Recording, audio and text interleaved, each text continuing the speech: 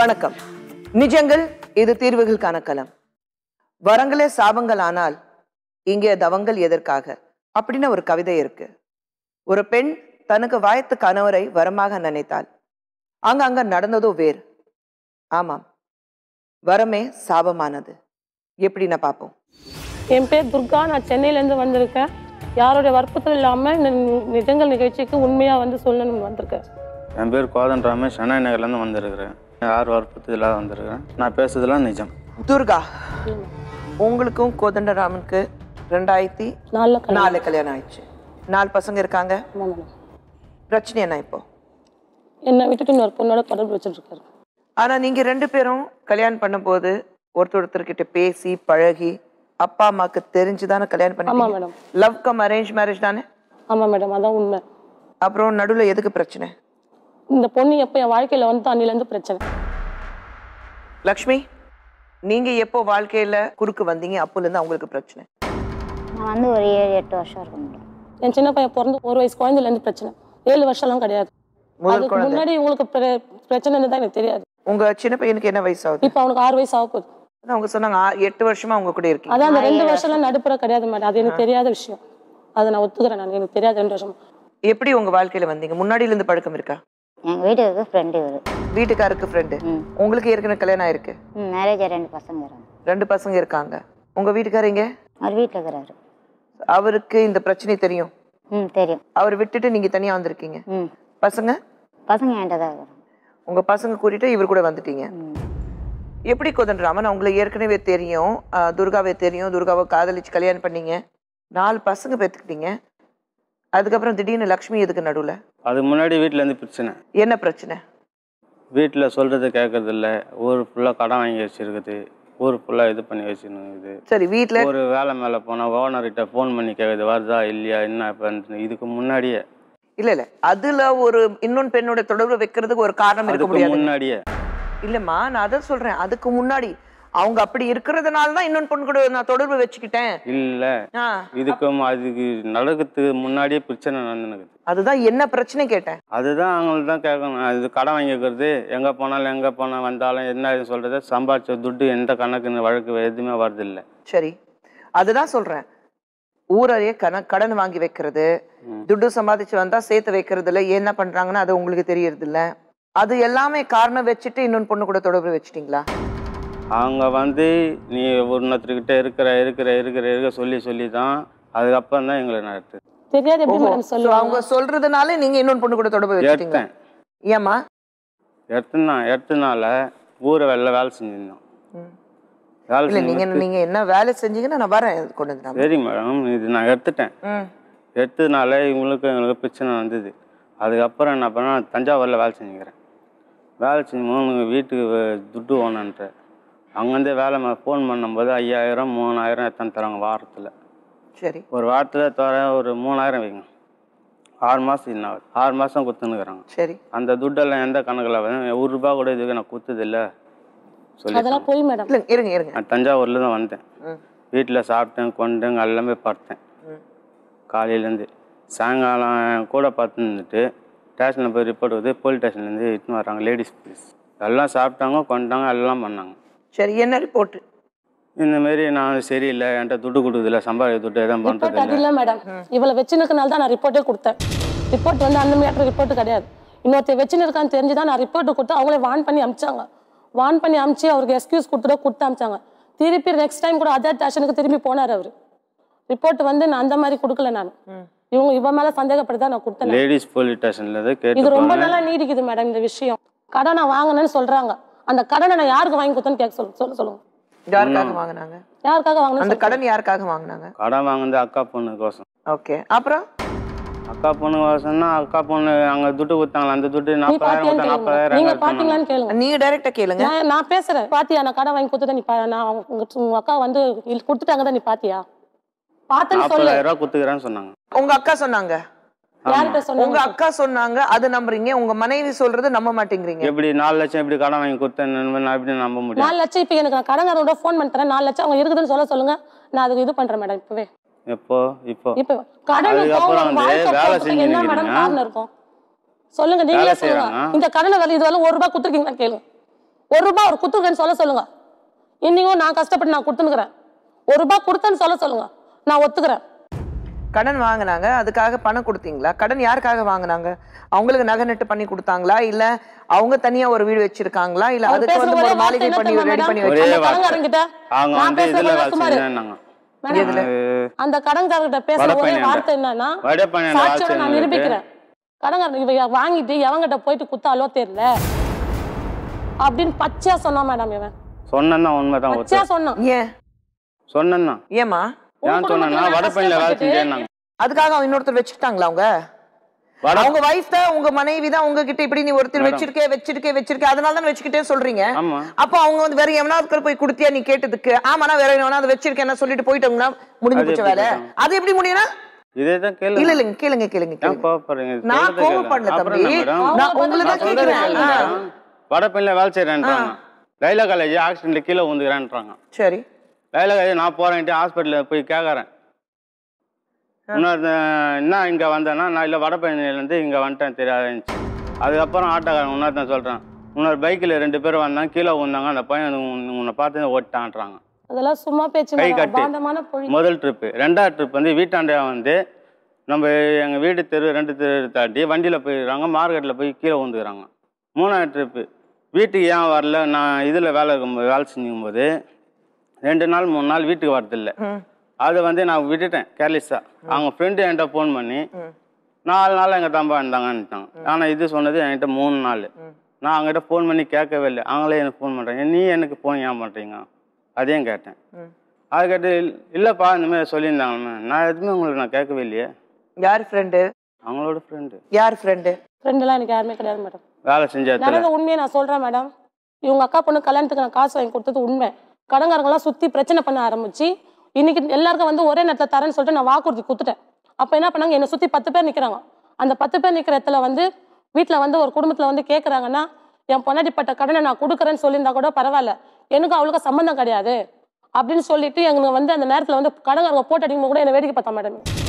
வேடிக்கை பார்த்துட்டு அந்த கடன் ப- பிரச்சனையில பயந்துட்டு ஒரு வருஷம் நான் இல்லைன்னு சொல்லிட்டு ஒரு வருஷம் என் கூட நான் போயிட்டேன்னு சொல்லிட்டு ஊரெல்லாம் பட்டம் கட்டி வச்சான் மேடம் இவன். என் சின்ன பிள்ளைய கையில வச்சுக்கின்னு அந்த வீட்டு அந்த மேடம் வீட்டில் வேலை செஞ்சு அதுக்கப்புறம் விஎஸ் ஹாஸ்பிட்டலில் வேலை செஞ்சு நைட் அங்கேயே தங்கி அந்த மாதிரிலாம் ஒரு வருஷம் நான் கஷ்டப்பட்டேன். ஒரு வருஷம் நீங்க வீட்ல இல்ல? வீட்டில் இல்லை. என் சின்ன பையனை வச்சு நான் வெளி- வெளியேற்றின்னு போயிட்டேன். சும்மா பேச்சு. சும்மா நான் நிரூபிக்கிறேன் நான். எல்லாம் தப்பு? நான் பண்ணியிருந்தா இன்னைக்கு இந்த இடத்துல வந்து நான் நிக்க ஒரு மாட்டேன் வருஷமா வந்து நாலு பசங்க என்கிட்ட இருந்தது? சின்ன பையனை விட்டுட்டு ஓடணும். அதே நாலு வருஷமா பசங்க அப்ப இன்னொரு நாலு பையன் இருந்தது? பேசுற பேச்ச பாருங்க. இல்ல. அப்படி வச்சுக்கோ. நாலு பேர் உங்க கூட இருந்தாங்க. நாலு பேர். இருந்தாங்க. கடன்காரன் வந்தாங்க. நீங்க அந்த கடனுக்கு எனக்கு சம்மந்தமே இல்லை சொன்னீங்களா? முதல்ல ஆரம்பத்துல வந்து நான் சொல்றேன் இதெல்லாம் செய்யக்கூடாதுன்னா செய்யக்கூடாது. கடன் யாருக்காக கேளுங்க மேடம். செய்யக்கூடாதுன்னா செய்யக்கூடாது. வீட்டுக்காரர் சொன்னதை கேட்கறது தான் மனைவியோட வேலை. அதுதான் வேலையா? ஆமா வேலை தான். அந்த வேலை மட்டும்தானா? ஆமா கடன்காரங்க வந்து தொல்லை கூட எதனால தொல்லை கொடுக்குறாங்க? நான் சம்பாதி துட்டு என்ன ஆகுது? என்னோட கேள்வி யாருக்காக கடன் வாங்கி கொடுத்தாங்க யார் கோர்ஸ் வாங்கட்டும் யாருக்குன்னா வாங்காத இருக்கட்டும் நான் சொன்னது வந்து வாங்கக்கூடாதுன்னா வாங்கக்கூடாது. யாருக்காக வா- யாருக்காக வாங்கக்கூடாதுன்னு நான் சொல்றது. ம். வாங்கக்கூடாது நீ எதுக்கு வாங்கி கொடுக்குறேன்னு தான் கேள்வி. யாருக்காக கடன் வாங்கினமா எங்க நாத்தனார் பொண்ணு கல்யாணத்துக்கு மேடம். தெரியும் மேடம் அந்த விஷயமும் தெரியும். கடன் வாங்கி தரேன்ப்பா அப்படின்னு நான் அப்ப நீங்க சொல்லிட்டு உங்க அக்கா கிட்ட போய் சொல்லுங்க. நீ எப்படி நீ வாங்கி கொடுப்ப? நீ தான் உங்க அக்கா கிட்ட போய் சொல்லுங்க. என் வீட்டுல வந்து நீ கடன் இது வந்து வாங்கணும் சண்டை போட்டு அவளை அங்க அக்காவே அடிச்சுக்கிறேன். இவளால தான் அந்த சண்டை கூட நடந்தது. சரி மேடம் அது என் குடும்பத்துக்கு நடந்த விஷயம். அது அது அப்பாற்பட்ட விஷயம். இப்ப இவ்வளவு வச்சுக்கிறதுக்கு காரணம் என்ன? நீ எதுக்கு தேவையில்லாத கதையை பேசிட்டு இருக்க? இல்ல சில நேரத்துல கணவருக்கு சில விஷயங்கள் பிடிக்கலன்னா நம்ம அதை செய்யக்கூடாது. தெரியாம செய்யல மேடம். நான் நாலு பிள்ளைங்க பொதுவா சொல்றேன். நான் தெரியாமலாம் செய்யல. இவனுக்கு தெரிஞ்சுதான் நான் செஞ்சேன். நாலு வருஷம் இந்த கல்யாணத்துக்கு நாலு- எல்லாம் எப்படி வந்த? நான் தெரியாம செஞ்சிருந்தேன்னா அந்த கல்யாணத்துல எப்படி தாய் மாமன்ற இதுல நின்ன. நலங்கு வைக்கும் போது எப்படி நின்ன? எப்படி செஞ்ச அப்போ அந்த இதுவை? பொண்டாட்டி ஈடுபடாத நீ செஞ்சிருவியா? சரி அந்த கடனை வாங்குனதுக்கும் நீங்க இன்னொன்று பொண்ணோட தொடர்பு வைக்கிறதுக்கும் என்ன முன்னாடியே இருக்குது. கடன் வாங்கறதுக்கு முன்னாடியே இருக்குது. என்னது? தொடர்பு அப்புறம்? நான் கேட்ட ஒரே கேள்வி. கேளு இன்னொன்று பெண். பொண்ணோட தொடர்பு வைக்கிறதுக்கு காரணம் என்ன? இவளால தான் நீ? இன்னொருத்த வச்சு நிக்கிற? இன்னொருத்த கொண்டு நிக்கிற? நான் போக அந்த சைட போயின்னு வந்ததுனால எல்லார்கிட்டையும் இவ பேச்சு வச்சிட்டான் மேடம் வேலை மேல போன் பண்ணி வேலை வந்து என்கிட்ட வீடு தேடி வந்து சொல்ல வந்தான். இவங்க விஷயமே எனக்கு தெரியும். அப்புறம்?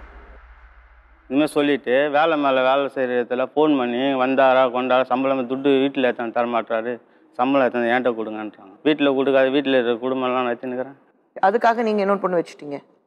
அதுக்காக நீங்க இன்னொரு பொண்ணு வச்சுட்டீங்க. வச்சிருந்தேன் வெச் நான் வைக்கலன்னு சொல்ல அது வச்சிருந்தேன் நியாயப்படுத்துறீங்க. நான் நியாயம் பத்தணும் நான் சொல்றேன் நான். அவர் ஏற்கனவே கல்யாணம் ஆனவர். உங்களுக்கு தெரியாது. கல்யாணம் ஆனவர்னா தெரியாதா. எப்போ தெரியும்? இல்லைன்றதே தெரியாதான். எப்போ தெரியும்? எனக்கு ஒரு மூணு வருஷம் க கழிச்சு எனக்கே தெரியும். ஒரு கல்யாணம் ஆயிடுச்சுன்ட்டு. இவருக்காக தான் உங்க கணவர்கிட்ட இருந்து நீங்க பிரிஞ்சு வந்தீங்க? இல்லை எங்களுக்கு பிரச்சனை. உங்களுக்கு பிரச்சனை ஓகே. எங்களுக்கு உங்களுக்கு அவங்க வீட்ல பிரச்சனை இருக்கும்போது இவர் கூட தொடர்பு வந்தது.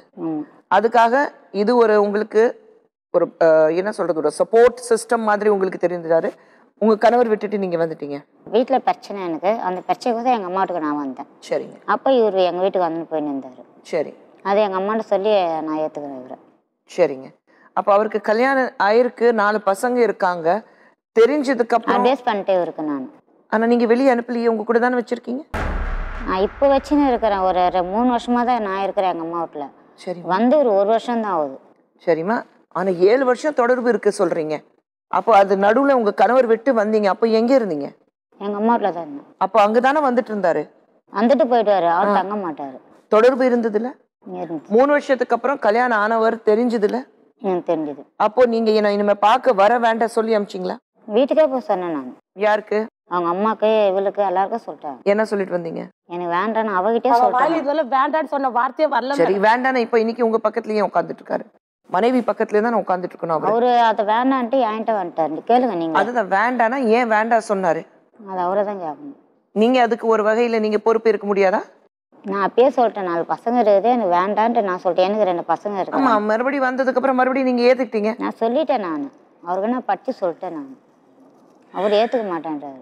ஒரு முக்கோணம் ட்ரையாங்கிள் மாதிரி இருக்கு இது. ட்ரையாங்கிள் தான். கடன் வாங்கினதெல்லாம் மனைவி வேண்டாம் சொல்லிட்டாங்களா? நான் வேண்டாம் சொல்லிட்டு ஆனா அவர் தான் என் பின்னாடி வந்தாரு. இந்த மாதிரி நிறைய விஷயங்கள் இருக்கு. ஆனா கோதண்டராமன் இதுக்காக என்ன சொல்றாங்கன்னா பாப்போம் கோதண்டராம் நீங்க செஞ்சது சரி உங்களுக்கு படுதா? எனக்கு சரி நான் நியாயப்படுத்தலை. நான் செஞ்சது தவறாக இருந்தாலும் எது பண்ணாலும். எது எனக்கு- பண்ணாலும்? தவறா தவறா இருந்தாலும் இருந்தாலும் சரி தவறு நடந்தாலும் சரி. நான் தான் பொறுப்பு. இவங்களுக்கு தவறா நடந்தது நான் தான் பொறுப்பு. அவங்களுக்கு நான் தான் பொறுப்பு. அப்படி இருக்கும்போது எனக்கு இவங்களை விட்டு எனக்கு விலகணும் தான் எனக்கு ஆசை. இவங்க- விட்டு. இவங்களை விட்டா- சரி இவங்களை இருந்தாலும் சரி. ஆனா இவங்க என் கூட இருக்கக்கூடாது துர்கா உங்க கூட இருக்க கூடாது இருக்கக்கூடாது. சரி ஆனா இவங்களும் என்னை விட்டு போனாலும் அதை பத்தி கவலை இல்லை. என் பசங்க என்கிட்ட நாலு பேர் என்கிட்ட இருக்கணும். அது எப்படி? பசங்க சின்ன பசங்க? சட்ட ரீதியாக அது அப்புறம் பேசுவோம். ஆனா வாழ்க்கை அவ்வளவு ஈஸியான விஷயம் கிடையாது. நான் சொன்ன பேச்சு மனைவி கேட்கல. இருங்க. இருந்தாலும் அக்காக்கு கடன் வாங்கி கொடுத்தாங்க. கடன்காரங்க வரும்போது எனக்கு இந்த கடனுக்கு சம்பந்தம் இல்ல. அவங்க விட்டுட்டு போயிட்டாங்க. கடன்காரங்க சம்பந்தம் எல்லாம் சொன்னேன். ம். அப்புறம் இவங்க எல்லாம் சேர்ந்து என்ன கட்ட பஞ்சாயத்து வச்சு என்கிட்ட கையெழுத்து வாங்கியிருக்கிறாங்க. ரெண்டாவது வீட்டாண்டா வந்து என்ன அடிச்சு கையெழுத்து வாங்கியிருக்கிறாங்க. இது வந்து இந்த பிரச்சனை எல்லாம் இல்லாதப்பவே எனக்கு டைவர்ஸ் நோட்டீஸ் வந்திருக்கு. பிரச்சனை இருக்கும்போது தான் டைவர்ஸ் கிடையாது மேடம். இவரு இப்போதைக்கு ஒரு அக்யூஸ்ட் சொல்லு இங்கே பாருங்க. ஜெயில ஒரு ரசீது மென்டல்னு எனக்கு கொடுத்துருக்காங்க. ஆமா. அது ஏன் கொடுக்கணும்? அவங்க மென்டல்ல நீங்க போட்டிருக்கீங்க? அட்வொகேட் கிட்ட நான் உங்க அட்வொகேட் வந்து உங்க பொண்டாட்டி மென்டலு அதனால தான் நான் அப்படி போட்டேன் நான் சொல்வீங்களா? மூணு மாசத்துல அது மூணு இருங்க இருங்க எனக்கு டைவர்ஸ் ஓனம் தான் நான் எழுதி கொடுத்தேன். அப்ப ஏமா கல்யாணம் பண்ணிக்கிட்டீங்க? விளையாட்டா இருக்கு? கல்யாணம் பண்ணிட்டு நாலு குழந்தை பெத்துக்கிட்டீங்க? நாலு குழந்தை இப்போ நாலு குழந்தை என்கிட்ட தான் இருக்குது. நாலு குழந்தைய நான் தான் பார்த்துன்னு இருந்தேன். சரி. ஒரு வருஷம் காண பண்ண எந்த நேரத்தில் வந்து பார்ப்பாங்கன்னு தான் கேள்வி கேட்டேன். இப்போ பாக்குறீங்களா? கேளுங்க மேடம் இப்போ நான் பார்க்கறேன் இப்போ என்கிட்ட வேலை வெட்டி இல்லை. ரெண்டு வருஷம். ஒன்றரை வருஷமா என்கிட்ட வேலை இல்லை இப்போ.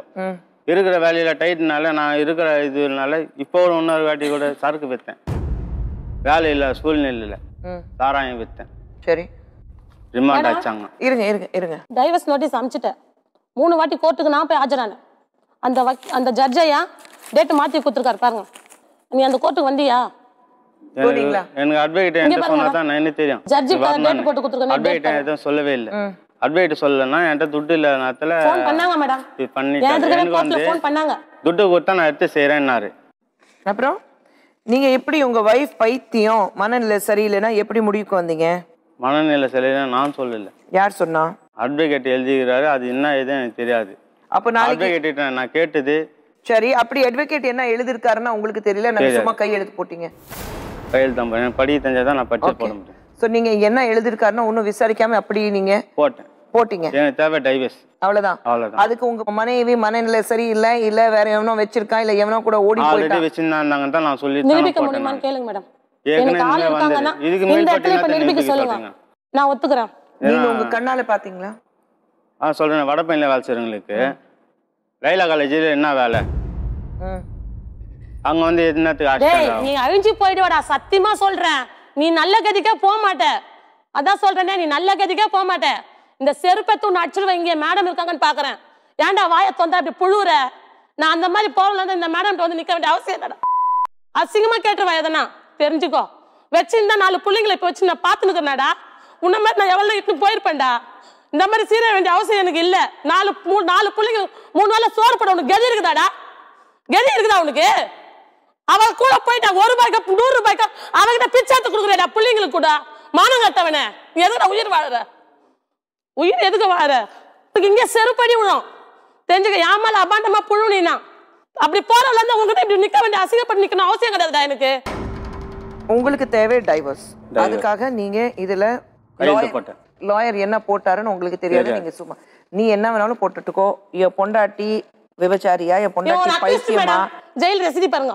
இல்ல இல்ல அது ஓகே இவளால ரெண்டு வாட்டி ஜெயிலுக்கு போயிட்டா மேடம் இந்த ரெண்டு வாட்டி ஜெயிலுக்கு போயிட்டான் அவங்களுக்கு அவங்களுக்கு திட்டுறதுக்கு உங்களுக்கு எந்த உரிமை கிடையாது. என் புருஷன் நல்லா வந்தான் மேடம் நான் அடிச்சு சொல்றேன் என் புருஷன் நல்லா வந்தான். இவள் எப்ப தொடர்பு எத்தனா அதுல இருந்து நாசமா போனா மேடம் அவருக்கு அறிவு இல்ல? நாலு குழந்தை பேத்துக்கு தெரியுது அறிவு இல்ல அந்த நிறைய பிரெயின் வாஷ் பண்ணா மேடம் அவ. சரி அவருக்கு பிரெயின் இல்ல அவங்களுக்கு மூளை இல்ல. அதுதான் அந்த புத்தி கட்டு தான் போனா. அத புத்தி இருக்குல்ல? புத்தி கட்டு தான் அப்ப போனா. அவங்க செருப்பு கழட்டி அடிங்க. அந்த பொண்ணு சொல்றது ஒருவேளை சாப்பிட மாட்டான் மேடம் அந்த அந்த மாதிரி சொல்றதுக்கு உங்களுக்கு எந்த ரைட்ஸ் கிடையாது துர்கா? இப்போ நீங்க எத்தனை வருஷமா பசங்க பார்க்கல பசங்க எத்தனை வருஷம் பார்க்கல? எத்தனை வருஷமா பார்த்துன்னு தான் இருக்கிறேன் இல்ல இல்ல. இப்போ அவங்க சொல்றாங்களே பசங்களுக்கு நீங்க எதுவுமே வாங்கி கொடுக்கறது இல்ல. இந்த ஒன்றரை வருஷமா என்கிட்ட வேலை இல்லை. சரி. ஒன்றரை வருஷமா பசங்களை நீங்க கவனிக்கல? நான் கவனிக்கல. வந்து வீட்டில் வருவேன் பசங்களை ஏதாச்சும் ஒன்றா வாங்கி கொடுப்பேன் கொள்ளுவேன் எல்லாம் எல்லாத்தையும் செய்வேன். என்ன வாங்கி கொடுத்து அரிசி வாங்கி போட்டுக்கிறியா? பருப்பு வாங்கி போட்டுக்கிறியா? இல்ல என்ன வாங்கி குத்துக்கிற அதுங்களுக்கு? சொல்லு. சரி அது வயிற்று பசிக்கு என்ன வாங்கி குத்துருக்க கேக்குறாங்க சொல்லுங்க. என்ன வாங்கி என்ன வாங்கி கொடுக்குறீங்க? குத்துக்கன்னு சொல்லு. வாரம் வாரம் ஆயிரம் ரூபாய் ஒரு கிலோ அரிசி வாங்கி போட்டிருப்பேன் வீட்டுக்கு. இப்போ இப்போ வாரம் வாரம் ஆயிரம் ரூபாய் கொடுத்துட்டு இருக்கீங்களா வார வாரம்லாம் கிடையாது மேடம். இருங்க, இந்த. வாரம் நான் ஆயிரம் ரூபாய் கொடுத்தாரு நான் ஒத்துக்கிறேன். அப்புறம் நடுப்புற முந்நூறு ரூபாய் முந்நூறு ரூபாய் அந்த ஒன்றரை வருஷத்துக்கு அப்புறம். நடுப்புற முந்நூறு ரூபாய் முந்நூறு ரூபாய். அப்புறம் எப்பனா கேட்டா நாலு மாசத்துக்கு ஒரு வாட்டி ஒரு ஐநூறு ரூபாய். அதுவே என் மாமியார் கட்சி கேக்குறாங்க. அவன் ஐநூறு ரூபாய் ஐநூறு ரூபாய் குத்த வாங்கி மட்டும் கொட்டிக்க தெரியல என் மாமியார் கட்சி இவளுக்கு உடந்த. காலையில நான் வரும்போது அந்த சாரை கூட்டின்னு வரும்போது எங்க மாமியார் வேலைக்கு போனாங்க. இப்போ பார்த்தா இவங்க கூட ஜத போட்டுன்னு வந்துக்கிறாங்க. அப்ப குடும்பமே சேர்ந்து எனக்கு சித்திரவதை பண்றதுக்குன்னே இருக்கிறாங்க மேடம். உங்க மாமியார் வந்திருக்காங்க. வந்திருக்காங்க மேடம். சொல்லுங்கம்மா. உங்க மருமகள் தானே? மருமக தான். அப்புறம் இன்னொருத்தர் கூட தொடர்பு வச்சிருக்காரு. இன்னொருத்தருக்கு தொடர்பு இருந்தாலே நம்மளுக்கு முதல்ல தெரியாது. சரி. அதுக்கப்புறம் தெரிஞ்சு இவ போய் அவங்க இவ்வளோ இவ்வளோ ஒன்றா இருந்தாங்க வந்து அவங்க வீட்டில் கூட இருந்தாங்க. இருந்து ரெண்டு பேரும் அரிசி பருப்பு அதெல்லாம் வாங்கி போட்டால் இவ்வளோ ஆகி போட்டால் நல்லா கும்மால் அடிச்சுன்னு தான் இருந்தாங்க. சரி. அப்போ கூட நம்மக்கிட்ட சொல்ல யார்கிட்டயும் சொல்ல சரி. நம்ம சரி அங்கே ஒன்றா என்ன பேர் நம்ம என்னக்காக நான் கும்பிருந்தேன் எதுனா ஒன்று சொன்ன உன் பிள்ளை காந்து இப்படி போனா இப்படி போனேன்னா அப்போ நீட்டும் அந்த உள்ள ஆகி வச்சிருந்து ஆகி போட்டு சேர்ந்து அப்போ தெரியாதா? நான் சொல்றேன். நீ பேச அர்த்தம் நான் சொல்றேன். நான் சொல்றேன். நான் கூட்டி என்ன கூட்டி குத்துக்கிறேன்? என் வீட்டு வீட்டில் வந்து கூட்டி குத்துனா? நான் சொல்றேன். உள்ள வச்சு கூட்டி. இருங்க இருங்க துர்கா. இல்லம்மா இப்போ இவ்வளவு கணவன் மனைவிக்கு இடையில பிரச்சனை. டைவர்ஸ் நோட்டீஸ் கொடுக்குற அளவுக்கு வந்துச்சு. டைவர்ஸ் நோட்டீஸ்ல என் பொண்டாட்டி பைத்தியக்காரினா போட்டிருக்கு. அதெல்லாம் எனக்கு தெரியாது. சரிம்மா. வீட்ல இன்னொன்னு பொண்ணு கூட்டிட்டு வந்து நாலு பசங்க இருக்காங்க. பெரியவங்க வீட்ல இருக்கும்போது என்ன சொல்லணும்? ஒரு வருஷம் இல்லை வீட்டில் சரி ஒரு வருஷம் இல்ல வீட்லன்னா யாராவது தேடுவீங்களா? நான் தான் பார்த்துருந்தேன் அந்த புள்ளிங்களை. சரிங்க நாலு புள்ளிங்களுக்கும். சரி எதுக்கு போனா? எது ஒரு பற்றி கடன் கடங்காருக்கு பதில். யாருக்காக கடன் வாங்கினா? அது எதுக்கு வாங்கினா? எனக்கு தெரியாது. நான் பத்து காசு சரி உங்க. மகளுடைய உங்க உங்க மகளுடைய? மகள் உங்க பேத்தி. கல்யாணத்துக்காக தான் கடன் வாங்கினா. அத உங்க உங்க இருங்க? இருமா உங்க பையன் ஏத்துக்கிட்டாரு. நீ அக்காக்காக தான் வாங்கினாரா எதுக்கு வாங்கணும்? எனக்கு தெ- அது தெரிஞ்சாதான் நான் காக்கிறதுக்கு. சரிங்க. தெரிய வந்ததுல அப்புறம்? தெரியும் வந்து சொல்ல இல்லையா. சரி தெரிஞ்சு வந்ததுக்கு அப்புறம் அவங்க வீட்ல இருக்கும்போது உங்க ம- உங்க பையன் மண்டையில ரெண்டு தட்டு தட்டி பொண்டாட்டி. பிள்ளைங்க இருக்காங்க. அப்போ வந்து பொண்டாடி பேச்சு கேட்டு நம்ம சொல்றதெல்லாம் கேட்காது. பொண்டாட்டி வந்து சுத்திங்க நான் கேட்டதுக்கு அவங்க பொண்டாட்டி முந்தானி பொண்டாட்டி முந்தானில வச்சதுனால தான் இந்த டைவர்ஸ் நோட்டீஸ் நான் சொல்ற பேச்சு கேட்டு இந்த நிலம் நான் வந்து ஒரு நிமிஷம் கேளுங்க மேடம் அவங்க இவ்வளவு சொல்றாங்கல்ல அவங்க கிட்டயே போய் நிறைய வாட்டி உன் புள்ளிய இந்த மாதிரிலாம் கேட்க மாட்டியா கொல்ல மாட்டியான்னு சொல்லிட்டு எவ்வளவு நான் சொன்னதுக்கு ஒரே வார்த்தை அவங்க கொடுத்த ஆன்சர் என்னன்னா உன் மாமங்காரன் கூட இப்படிதான் இருந்தான். ஆம்பளை எங்க போனாலும் என்னைக்குன்னா ஒரு நாளைக்கு உன்னை தேடி வருவான். எங்க போயிடுவான் அவன்? ஒரு பெரிய மனுஷி சொல்ற வார்த்தையா? ஆமா நான் அதான் சொன்னதான் மாமியார் இல்லையே கெட்ட சொல்லியே வார்த்தை திட்டுது வார்த்தையா? எங்க சுத்தி உன்னான் தான் வருவான் தான் சொன்னேன் நான்.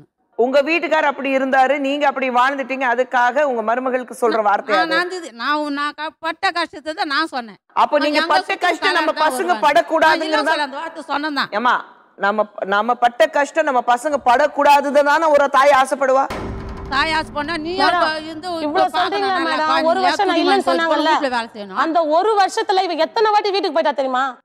நான் இல்லாத வரல நான் இருந்த வரல என் வீட்டுக்கு இவ வந்ததே கிடையாது? உனக்கு இப்போ வந்து இருங்க, சொன்னீங்க. இவன் இருக்கிறான் நீ சொன்னீங்க இருங்க இருங்க இருங்க. உனக்கு இருமா, தெரு ஜனங்க வந்து சொன்னாங்களான்னு கேட்டீங்களே? சொன்னாங்கன்னு இவங்க சொன்னாங்க. ஆமா.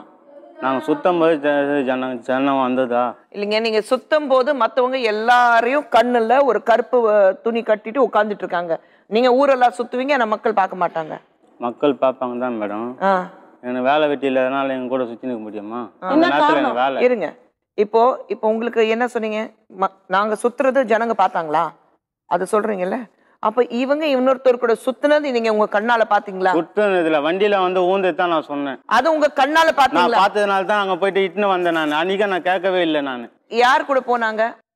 இன்னொரு பையன் கூட வண்டியில பைக்கில். செருப்பை தடுப்பா டேய். செருப்பை தச்சிடுவேன் உனக்கு. அபாண்டமா என் மேல பழி சொன்னீங்க. போனது நான் பார்த்ததுனால தான் தெரிஞ்சுக்கோ. கேட்டேன் நான். உண்மையிலே மனைவி மேல ஒரு நம்பிக்கை இருந்திருந்தா மனைவி கிட்ட யார் கூடமா போனேன் யாரு யாரு வந்தாங்களான்னு அப்படி கேட்டிருக்கணும். அப்படி கேட்டிருக்கணும். அது விட்டுட்டு இன்னொருத்தர் கூட பைக்ல போனாலே அவ கூட போகும்போது விழுந்தால உண்மையிலே அவளுக்கு இவளுக்கு ஏதோ தொடர்பு. நான் நடந்து வந்திருந்தேன் அதனால கீழே விழுந்துட்டேன். இன்னொரு வண்டிக்காரன் ஆட்டோக்காரன் யாரோ மூஞ்சி எக்ஸைட் ஒரே வார்த்தை. எனக்கு இவங்களும் தேவை எனக்கு அவங்களும் தேவை எனக்கு தேவை பசங்க தேவை. பசங்க உங்களுக்கு தர முடியாதுங்க. சின்ன பசங்க தாய் கூட தான் இருக்கணும். தாய் கூட இருக்குன்னா ஒரு வருஷம் விட்டு போனாங்களா? அப்ப யார்கிட்ட இப்ப இந்த இத்தனை வருஷம் நீ எங்களை விட்டுக்கிறியா? அப்ப நீ எங்க போன? ஒரு வருஷம் விட்டுட்டு போனாங்க நீங்க இன்னொரு- விட்டு விட்டு போல? நீங்க- நீங்க சட்ட ரீதியாக விவாகரத்து வாங்கி வாங்கிட்டீங்களா உங்க கணவர் கிட்ட இருந்து? எழுதி கொடுத்துறாங்க அப்புறம் எழுதி கொடுத்துட்டு அந்த பேப்பர் கிழிச்சு குப்பை தொட்டியில போடுங்க. சட்டம்னு ஒண்ணு இருக்கு. நீங்க இன்னொருத்தி ஊர் அறிஞ்சு தெரிஞ்சு ஒரு பொ- ஒரு பொண்ணு இன்னொருத்தரோட பொண்டாட்டி நீங்க வச்சுட்டு நீங்க குடும்பம் நடத்துவீங்க. ஆனா சபைக்கு வந்து எனக்கு இவ்வளவு தேவையில்லை அவ்வளவு தேவையில்லைன்னு சொல்லிடுவீங்க. அப்ப ஜெயில போடுங்க மேடம் ஜெயில போடுங்க. வேற ஜெயில் பாத்துட்டா ரெண்டு வாட்டி. விளையாட்ட போச்சு. என் பிள்ளைங்கள நான் பாத்துக்கிறேன் இருமா வேலை இல்ல. வேலை இல்லை. அவங்க பசங்க யார் பாத்துக்கிட்டாங்க அவங்க பசங்க என் பொண்ணை கூப்பிடுறேன் மேடம் ஒரே ஒரு ரிக்வஸ்ட் சொல்றேன். என் பொண்ணை கூப்பிடுறேன். ஃபோன் பண்ணி எங்க அப்பா கிட்ட ஃபோன் கொடுங்கன்னு சொன்னதுக்கு இவன் யாரு அந்த பிள்ளைங்களுக்கு அப்பனா? என் குழந்தை இன்னைக்கு சொல்லி அழுவோம் பிரியா சின்ன பொண்ணு பிரியா பொண்ணு. ஃபோன் பண்ணி எங்க அப்பாட்ட கொடுன்னு சொன்னதுக்கு ஏய் உங்க அப்பா எல்லாம் எனக்கு கிடையாது எங்க அப்பா அவரு. அப்படின்னு சொல்லி இவ பொண்ணு சொல்லுது மேடம். சரி பசங்க இதுல இழுக்காதீங்க. நீ போய் அங்க போய் உட்காந்து வசனா அந்த பொண்ணு அந்த பத்து- குழந்தைய பார்த்து பேசுது. அந்த குழந்தைங்க மேல என்ன தப்பு இருக்கு துர்கா? இவங்க எப்படி பழகுறாங்க எப்படி. இருக்காங்க அதுதான் அப்படிதான் இருக்கும். அந்த பசங்க மேல எந்த தப்பும் கிடையாது. வாழ்க்கையில இவங்களும் வேணும் அவங்களும் வேணும். தேவை இருக்கும்போது. ஆனா அதுக்கப்புறம் இவங்களும் வேண்டாம் அவங்களும் வேண்டாம் யாருமே வேண்டாம்னு சொல்ற எங்க போனாலும் இதே பிரச்சனை. டேஷன் டேஷன் டேஷன் ஆமா, எத்தனை நீ வாட்டி ஒரு பண்ணா அழிவான் இங்க ஒழுங்கா இருந்தா ஸ்டேஷனுக்கு போகணும்னு அவசியமே கிடையாது. ஒழுங்கா இருக்கும்போது எல்லாத்தையும் பண்ணுவேன். ரெண்டு சந்தேக பேரும் புத்தி. ஒன்றுக்கு ஒன்றியா பேசினீங்க ஒன்று ஒன்றியா உட்காந்து சாப்பிடும்போது அப்ப சந்தேக புத்தி. யாரால மேடம். தேடிக்கின? யாரால தேடிக்கின? அவங்க எனக்கு தானா தெரியுமா? ரெண்டு பேரும் உட்காந்து சாப்பிடும்போது அப்ப தெரியலையா? இதுகிட்ட வாங்கி இது பிடிங்க சரி நீங்க நீங்க அப்படி ரெண்டு பேரும்? உட்கார்ந்து சாப்பிடும்போது இரு நீங்க பிடிங்க இரு- துணும்போது இருமா இருமா? இருமா இருமா இருமா ரெண்டு பேரும் உட்கார்ந்து சாப்பிடும்போது என் பொண்டாட்டி நல்லவ நான் வந்து அவளை வச்சிருக்கேன். நீங்க ரெண்டு பேரும் உட்கார்ந்து சாப்பிடுங்க சொல்லிட்டு உட்கார வச்சீங்களா? யாரு? நீங்க?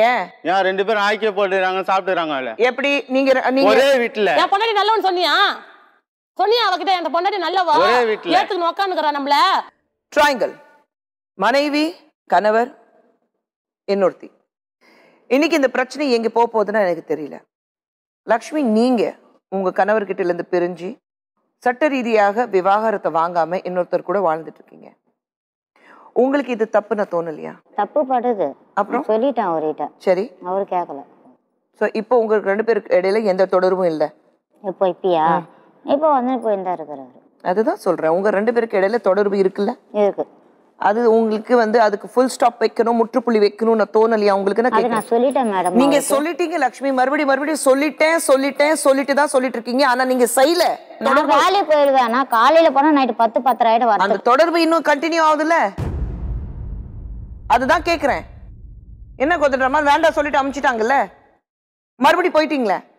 மேடம் மறுபடியும் மறுபடியும் போயிட்டேன் மறுபடியும் மறுபடியும் அவங்க வீட்டில் இருபத்தி நாலு மணி நேரம் ஆனால் இல்லை. கேக்குற கேள்வி ஒண்ணுதான் ரெண்டு பேருக்குள்ள தொடர்பு இன்னும் இருக்கா இல்லையா? தொடர்பு இருக்கு. அவ்வளவுதான். அதுதான் அதுதான் அதுக்கு வேற எதுக்கு எதுவுமே ஈடுபடாது. தொடர்பு இருக்குல்ல. அது உங்களுக்கு தப்பா படலையா படு. அப்புறம்? என்ன செஞ்சீங்க அதுக்கு? படுத்தனாலே ஏகப்பட்ட இதுக்கு எனக்கு பிரச்சனை வந்திருக்குது. இருக்கக்கூடாது நான் தான் சொல்லி நான் கம்பல் பண்ணி நாங்கள் அப்பா இவ கூட இருந்தா நான் செத்து போயிடுவேன்னா ஒரே இது சொல்லி தான் இவ கூட இருக்கு லவ் லவ்ஸ் இருக்குது. லவ்ஸ்ன்னு சொன்னாலும் நீங்க எது சொன்னாலும் அது பத்தி கவலை இல்லை. இவ கூட இருந்தாலுமே இதுதான் நடக்கும். அங்கே காதலிச்சு தான் நான் அந்த இவ கூட இருந்தாலுமே என்கிட்ட இவ இல்ல இந்த ஒரு வருஷம் என்கிட்ட என்னை விட்டு போனால. அப்போ போகும்போது நல்லா வேலை செஞ்சேன் நல்லா நான் ஒரே கேள்வி.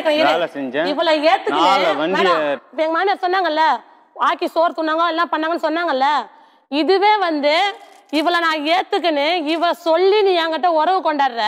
அப்பெல்லாம் உனக்கு வந்து நான் அப்ப சாக வேண்டியது தானே. அப்ப சாக வேண்டியது தானே? ஞாபகம் தானே? அப்ப சாக வேண்டியது தானே? என்ன சாவடினா நீ அந்த மாரி எங்க அம்மாவை கட்ட வார்த்தை பேச நீ உங்க எல்லாத்தையும் அம்மா இது கட்ட வார்த்தை பேசுறது உங்க அம்மா வீட்டுல இருந்து நாங்க கதை பேசுறது இல்ல. உனக்கு உனக்கோசம் தான் நான் இது முடியுமா? உங்க அம்மாவை நீ என்ன வலிக்காத? உனக்கு என்ன பிரச்சனை? உங்க அம்மா ஒரே நீ. கூட்டின்னு வந்துக்கிற பலவீனமா? இதனால நான் கூட்டிட்டு வந்தா பாத்தியா உங்க அம்மாவை. நான் கூட்டிட்டு வந்தா பாத்தியா உங்க அம்மாவை? நான் இதனால நான் உள்ள. போனாலும் நான் கவலைப்படல. வேற யாரும் ஆனா கிடையாது எனக்கு தேவையில்லை. என் பசங்க எனக்கு அதுதான். தேவை. என் பசங்கன்னா உனக்கு கிடையாது பசங்க கிடையாது. நான் சொல்றேன் பாரு. இட்டுன்னு போயிட்டு பசங்க உனக்கு கிடையாது. தண்ணியில இருக்காங்களா இருங்க. நீ வயசு பொண்ணு வச்சுனுக்குற நானும் வயசு பொண்ணு இன்னைக்கு நாளைக்கு என் பொண்ணு வயசுக்கு வர மாதிரி இருக்குது. நான் வந்து ஒரு பொண்ணா இருக்க வந்தா உங்ககிட்ட கூப்பிட்டு வச்சு நான் பேசுறேன். இவ்வளவோ சொல்லிட்டு நீ ஒரு பொண்ணு வச்சுக்க நானும் ஒரு பொண்ணை வச்சுனுக்கிறேன் இதுக்கெல்லாம் ஒரு முடிவு காலமே கிடையாது. உன் புருஷன் வந்தா நீ கூட்டின்னு போ. யார் புருஷனை வந்தா நான் எப்படி மேடம் நான் கூட்டின்னு போக முடியும்? தெளிவாக இருக்காங்க. முதல்ல உங்க மேலே தான் ஒரு இல்ல. யாரு? உங்களுக்கு தான் உங்களுக்கு தான் ஒரு அந்த நோய் இருக்கு. அந்த சந்தேக நோய் உங்களுக்கு இருக்கு. இல்ல ஒண்ணும் இல்ல எனக்கு. உங்களுக்கு தான் சந்தேக நோய் இருக்கு. கண்ணு முன்னாடி இப்படி ஒரு பண்ணி வச்சுட்டு மனைவி இன்னொருத்தர் கூட போயிருக்கா? ஒரு வருஷம் காணாம இன்னொருத்தர் கூட போய் போயின்னு சொன்னேன். ஆமா இருக்கு அதே உண்மை தப்ப தான் நான் அது. செஞ்சிருந்தேன்னா இந்த இடத்துல நான் வந்து உட்காரும் போது இன்னொருத்த கூட உட்காந்தேனா உட்காந்து இருந்திருக்கேனா இப்போ? அவனை நிரூபிக்க சொல்லுங்க. அவங்க ஏய் உனக்கு மரியாதையே கிடையாது. அப்புறம் என்ன? லக்ஷ்மி இந்த பிரச்சனை எப்படி தீர்க்கலாம் சொல்லுங்க லக்ஷ்மி. எனக்கு தெரியாது மேடம். இல்ல தெரியாது இல்ல. லக்ஷ்மி உங்க கண்ணு முன்னாடி இருக்கு.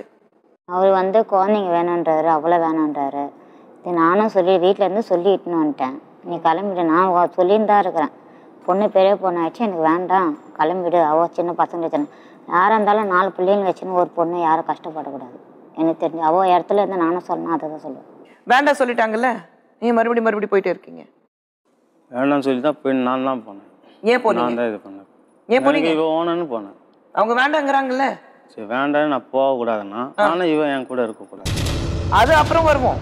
நீங்க அது தீர்வு சொன்னா நான் இருக்கிறேன். அந்த தீர்வு வரும் பாருங்க. அப்ப தெரியும் உங்களுக்கு. சரி அந்த தீர்வு வரும்போது எப்படி உங்களுக்கு சட்ட ரீதியாக எப்படி சாட்டை உங்க மேல பட போகுதுன்னு அப்ப தெரியும் உங்களுக்கு. நீங்க பண்ற கூத்துக்கு. விளையாட்ட போச்சு நாலு குழந்தை பெத்ததுக்கு அப்புறம் எனக்கு இப்ப வேண்டாம். பாக்குறேன். பின்ன இவங்கள பார்த்து இங்க உட்காந்து என்ன பாக்குற? இப்ப குழந்தைங்களை இப்ப வரல எடுத்து என்ன தண்ணி எடுக்கிறதுக்கும் துணி துவைக்கிறதுக்கும் சோறு ஆக்கி போறதுக்கும் குழந்தைங்க இருக்குது? யாரு? பச்சை குழந்தைங்க? எந்த கதைக்கு எந்த கதை பேச? உன் பச்சை நீ குழந்தைங்க சொல்லுங்க. தேடின்னு குழந்தைங்களை பெரிய கடை உன் துணி உனக்கு துவைச்சு தராது? உன் அதுக்கு என்ன நீ வைக்கணும். பேசுற? குழந்தை நான் மாத்தா போய் சொல்லி வருமா? குத்திட்டு வந்தாளா இதெல்லாம்? அதுதான். ஆத்தால பாய் இதுவா எடுத்துன்னு வந்தியா இப்போ? சுயநிர்வா பேசுறேன் உங்க ஆத்தா சொல்லி குத்திட்டு வந்தாங்களா? எனக்குன்னு யாருமே கிடையாது மேடம் ஓப்பனாக சொல்கிறேன் எனக்கு அப்பா அம்மா யாருமே கிடையாது. இப்போ எனக்கு சொந்தம்னு பார்த்தீங்கன்னா என் நாலு பிள்ளைங்க மட்டும்தான். இவனுக்கோசம் என் குடும்பத்தையே உதறி தள்ளிட்டு நான் வந்தேன் இன்னைக்கு. எல்லாமே இவன் தான் நினைச்சுன்னு வந்தேன். ஆனா இன்னைக்கு என் மேல பழி சுமத்திட்டு இவன் அதுல வாழணும்னு அவன் சந்தோஷத்துக்கோசம் என் மேல பழி சுமத்துற சமத்துறான் மேடம். அது என்னால தாங்கவே முடியல. அவனை அவன். வேணாம் சும்மா உதாரணத்துக்கு தான் சொல்றான் மேடம். இல்ல அவ வே- அது உண்மை கிடையாது மேடம். அவன் எனக்கு அவளை. பத்தி நல்லாவே தெரியும் இவனை பத்தி நல்லாவே தெரியும் எனக்கு. அது உண்மை கிடையாது. நீங்க என்ன? பேசுறாங்கல்ல. அவ வேணான்னு சொன்னான்ற. இங்க வந்து உட்கார்ந்து உன் பொண்ணாடி பதில் உட்கார்ந்து சொல்றதுக்கு வாய் இருந்தது அவளுக்கு? இருந்துச்சா? சரி இப்ப நீங்க என்ன எதிர்பார்க்கறீங்க? எனக்கு என் புருஷன் வேணும். இவர் கூட வாழணும்னு எனக்கு என் புருஷன் வேணும். என் புருஷன் நல்லவன் தான். இன்னைக்கு இவ்வளவு தொடர்பு எடுத்ததுல என் புருஷன்? அழிஞ்சு போய் உட்காந்துக்கிறான் இவளாதான் என் இவளால குடும்பம் தான் எனக்கு. எல்லாமே போச்சு. இவளால் தான் என் குடும்பம் கெட்டது. எனக்கு என் புருஷன் வேணும். என் நாலு பிள்ளைங்களுக்கு அப்பம் வேணும். கட்டின பொண்டாட்டி மேல வந்து பார்க்காத கொல்லாத அங்க இது பார்த்ததுனால பண்ண தான் நான் போய். டாக்டர் போயிட்டு வந்தேன். அவங்க கிட்ட கேட்டேன். என்னம்மா பாத்தீங்க ஒருத்தர் கூட பைக்ல போறது பாத்தீங்க பைக்ல போறாங்க கீழே விழுறாங்க யாரு கூட நான் சொல்லும் போது பைக்ல. போறது பார்த்ததுக்கு அது நான் கேக்குறேன் பைக் பைக்ல போனல, பைக்ல அடிக்க எழுத்து பட்டாச்சு இவன் மட்டும் என்ன வீட்டு போட்டு பேச அடிக்க போறா? வேண்டியது தானே? இருமா, பைக்ல போறது தப்புனா அப்ப நீங்க இன்னொருத்தர் பொண்டாட்டி வச்சிருக்கீங்க அதுக்கு என்ன பேரியா அதுக்கு என்ன பேர்? ஒருத்தர் கூட பைக்ல போறது பொண்டாட்டி வேண்டாம் சொல்ற நீ. அவங்க உன்னத்துல வச்சுனால தான் வேணாம் ஆ, என்னது நீ என்ன பாத்தியா? கண்ணால பாத்தியா? அந்த பொண்ணை இன்னொருத்தர் கூட போயிருக்காங்க கண்ணால பாத்தியா? பைக்ல போனது பைக்ல இது போனது என் கண்ணு முன்னாடி பைக்ல போனாங்க விழுந்தாங்கன்னு சொல்றீங்க ஒரு வருஷம் அங்க போயிருப்பாங்க. ஒரு வருஷம் எங்க போறாங்க அதான் சொல்றாங்களே எல்லாம் போய் கேளு எங்க வேலை செஞ்சாங்க போய் கேளு. கேட்கும்போது கோயில்லன்றாங்க ஸ்டேஷன்ல போகும்போது ஸ்டேஷன் அச்சிருவேன்டா கண்டிப்பா போய் சொன்னா. அச்சிருவேன் நானு சொல்லிட்டேன் நீ போகும் சந்தோஷத்துக்கு ஏன்டா ஏமா அபாரமா பழி போடுற? உன் நாலு புள்ளைங்க மேல சத்தியம் பண்றா? நான் போனேன்னு. போனதான். அழிஞ்சு போயிட்டா உன் புள்ளைங்க அழிஞ்சு போயிட்டா. அந்த மாதிரி சத்தியம் பண்ணினா. தெரிஞ்சுக்கோ. வரும்போது இப்ப பேசி வச்சு வந்தீங்களா? ஆத்தா புள்ள பொண்ணு அதுதான் ஒட்டின்னு வந்தீங்களா எல்லாரும் சேர்ந்து? தப்பு பண்றதுல தான் இன்னைக்கு இங்க வந்து நிக்க வேண்டிய அவசியம் எனக்கு இல்லடா. போடா போயினே இருப்பேன்டா. தெரிஞ்சுக்கோ. உட்காருமா ஜாக்கெட் துணி கூட எடுக்க முடியாத. அந்த 200 ரூபாய் சம்பளத்துக்கு என் பிள்ளைங்களை வச்சு நான் காப்பாத்து இவன் பாக்குறானா? என்னத்த பாக்குறான்? என்னால ஒரு சோறு தான் அந்த குழந்தைங்களுக்கு போட முடியுது தெரியுமா? ஸ்கூல்ல போய் அந்த ஸ்கூல் சோத்தை துண்டுங்க இவன் பாக்குறானா? என்ன பாக்குறான்? இவன் தெரியல. எனக்குன்னு தட்டி கேட்கறதுக்கு யாருமே கிடையாது இந்த மாதிரிலாம் பண்றான் மேடம். சரி நீங்க உட்காருங்க. நீங்க உட்காருங்க. ஒன்பது வருஷம் பொண்டாட்டி நல்லவளா தெரிஞ்ச இவன் ஒருத்தர் எத்த ஒண்ணு பொண்டாட்டி சொல்லுங்க மேடம். ஜீர்ணிக்க முடியல தப்பு பண்ணிருந்தா கூட நான் சந்தோஷமா ஏத்துட்டு இருப்பேன். என்னதான் சொல்லணும் இது இது இந்த பாயிண்ட்டுக்கு வர மேடம். ஏழு வருஷமா உனக்கு பழக்கம் இருக்குது அப்ப நாலாவது புள்ள பெத்துக்கும் போது நான் தெரிஞ்சேன் உனக்கு? கேளுங்க மேடம் அந்த கேள்வி அவனை. அவகிட்ட பேசி நான் முன்னுக்கு வர முடியாது. இல்லம்மா, அவ அவ கேக்குற. கேள்விக்கு நீங்க தானே பதில் சொல்லணும். அவ நான் கேக்குற எல்லாத்தையும் நான் இது பண்ணு. அவ கேள்வி கேக்குறாள அவங்க கிட்ட அந்த கேள்விக்கு பதில் சொல்ல முடியாது. சரி அவங்க அவ சார்பாக நான் கேக்குறேன். ஒரு தொடர்பு வச்சிருக்கீங்க அப்புறம் நாலாவது புள்ள எப்படி பெத்துட்டீங்க? என்னது? ஏழு வருஷமா தொடர்பு இருக்கு. ஆமா மேடம். அப்புறம் நாலாவது புள்ள இன்னும் ஆறு வயசு கூட முடியல நாலாவது குழந்தைக்கு. எப்படி குழந்தை பெத்துக்கிட்டீங்க? ஏன் அப்பெல்லாம் நல்லா சம்பாரணம் நல்லா தான் இது பண்ணியிருந்தாங்க. எந்த பிரச்சனையும் இல்லை. எந்த இதுவும் இல்லையே. பிரச்சனை இல்லையே. இல்ல பிரச்சனை இல்ல. நீங்க இன்னொரு பொண்ணு கூட நீங்க தொடர்பு வச்சிருப்பீங்க. அவ கூட குடும்பம் நடத்துவீங்க. ஆனா வீட்டுக்கு போய் மனைவி கிட்ட நல்லவன மாதிரி குடும்பம் நடத்தி இன்னொன்னு குழந்தை பெத்துக்குவீங்க. சரி மேடம் இது சொல்றீங்கல்ல. அப்புறம் ரெண்டு பேரும் எப்படி மட்டும் பேசினா ரெண்டு மட்டும் ரெண்டு பேரும் எப்படி மட்டும் ஆக்கி ஆக்கி சாப்பிட்டாங்க இவகிட்ட மட்டும் துட்டு வாங்கி இப்ப எப்படி- குழந்தை பத்த கதை செஞ்சு கேட்டாங்க சாப்பிட்டாங்க. ஆக்கி ஆக்கி கேளு. எல்லாத்தையும் எடுக்கணும். அதையும் எடுக்கணும்ல? நான் அது அப்புறம் எடுக்கிறேன். அது அப்புறம் எடுக்கிறேன் நானு. நீ அவளை வச்சிருக்கும் போது அவ கூட குடும்பம் நடத்தும் போது பொண்டாட்டி வீட்டுக்கு போய் தொட்டு இன்னொன்னு குழந்தை பெத்துக்கிட்டே நீ அந்த குழந்தை ஆகாயத்தில் விழுந்தது. நீ தானே பெத்துக்கிட்ட? நான் தானே பெற்றுட்டேன் எப்படி? அந்த பொண்ணு பெத்து வச்சிருக்கும். ரெண்டு வாங்க. குழந்தைங்களை பார்க்காத இருந்தானா? குழந்தை அப்போ நீ குழந்தை பார்க்காம இருந்தா அப்போ உங்க குழந்தை பார்க்காம இருந்தாங்களா? குழந்தை பார்க்காதான் உங்க குழந்தை பார்க்காம இருந்தா ஓகே குழந்தை பார்த்துட்டு இருக்காங்கன்னா இன்னும் நீங்க அவளை வச்சுக்கோங்க. குழந்தை பார்க்கறேன் அதனால இன்னொருத்தர் வீட்டுக்கு கூட்டிட்டு வரேன். ரெண்டு பேரும் சகஜமா பேசுங்க. ஒரு பக்கம் புருஷன் இன்னொரு பக்கம் என்னுடைய நான் யாவன் எவனை வச்சிருக்கேன் அவன் வரட்டும். ரெண்டு பேரும் சகஜமா பேசுங்க. ஒத்துக்கிறியா நீ? ஒத்துக்கிறியா நீ? அது எப்படி ஏற்றுப்பாங்க ஆ அப்புறம் உனக்கு நான் என்ன கொம்மா முழிச்சிருக்கு உனக்கு? நீ பண்றது நியாயம்? நான் பண்றது நியாயம் அப்புறம்? அதை எப்படி ஏத்துக்க முடியும் நான் அப்புறம் கேள்வி கேட்டல ரெண்டு பேரும் சோறாக்கி போட்டாங்க. நான் ஏத்துக்க முடியாதுன்னா இருங்கம்மா ரெண்டு பேரும் எப்படி சோறாக்கி போட்டாங்க நீங்க கேட்டீங்கல்ல? ரெண்டு பேர் சோறாக்கி போட்டாங்க கேக்குறாங்க ரெண்டு பேர் பேசினாங்க அதுதான் சொல்றேன். அப்பெல்லாம் நீ இது பண்ணல பிரச்சனை அதுதான் அப்ப நீங்க என்ன சொல்றீங்க? அவ? அவ Cash ஏத்துக்கிட்டா. எந்த பிரச்சனையும் பண்ணலைன்னா ஓகே. என்னது? நான் அவருக்குள்ள தொடர்பு வச்சுக்கிறேன். அந்த உறவை நான் கண்டினியூ பண்றேன். அவளை பத்தி எதுவுமே பேசக்கூடாது. அவளை ஒரு பக்கம் வச்சுக்கிற நீ ஒரு பக்கம் வீட்டுல மூலையில இரு. அதுக்கு முன்னாடியே அப்புறம்? இவ இந்த மாதிரி பிரச்சனை வந்தனால தான் எனக்கு எனக்கும் இவளுக்கும் ஏகப்பட்ட பேரு பிரச்சனை வந்தது. அந்த பிரச்சனை இருந்து சரி அந்த அந்த ஆள் கூட நீ சொன்னீங்க. பைக் கூட போனது பார்த்தேன். எப்போ பார்த்த எப்போ பாத்தீங்க பைக்ல போறது. பிரச்சனை அவளுக்கு ஆக்சிடென்ட் ஆகும்போது எனக்கு ஞாபகம் இல்லை. எனக்கு ஆக்சிடென்ட் அடப்பா இவன் வாய் அழிஞ்சு போயிடா எனக்கு ஆக்சிடென்ட் ஆச்சுன்னு பேர். நல்லா குத்து உலகமா தான்டா உட்காந்து. எனக்கு போய் ஆக்சிடென்ட் தான் ஆச்சு அழிஞ்சு போயிடுவாடா. அந்த ஆக்சிடென்ட் உனக்கு வரண்டா கண்டிப்பா. நான் கேக்குறேன் இருமா. பைக்ல போறது பாத்தீங்கல்ல? நீங்க கண்ணால பாத்தீங்கல்ல? நீங்க அப்ப என்ன சொன்னீங்க?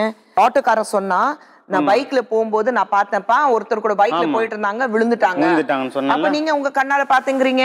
அதனால அதாவது மேடம் பைக்கில் போகும்போது அதாவது இங்க வேலை செய்யறவங்களுக்கு எங்களுக்கு என்னத்து நடந்து இங்க வேற செய்யறவங்களுக்கு அங்க என்ன வேலைன்னா அது முக்கியம் கிடையாது. அதெல்லாம் முக்கியம் தான் அது எப்படி எப்படிமா அப்ப அவ்வளவுதான் உனக்கு புத்தி. வருவாங்களா? அவ்வளவுதான் சுருக்கு புத்தி உனக்கு. எனக்கு அது பொண்டாட்டி சுருக்கு கிட்ட புத்தி? எதுக்கு இந்த பக்கம் வந்த? கேட்டியா நீ? அது கேட்டேனே. சரி. கேட்டது இடம் அது எப்படி இடம் தெரியாது நீ வருவ? இடம் தெரியாது.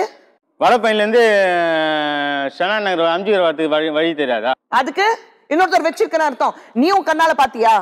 நீ என்ன சொன்ன என்கிட்ட? வண்டியில போந்து கண்ணால பார்த்தேன் நீ என்ன சொன்ன? பைக்ல போய் பைக்ல வந்து ஊந்துது அது ஒண்ணு.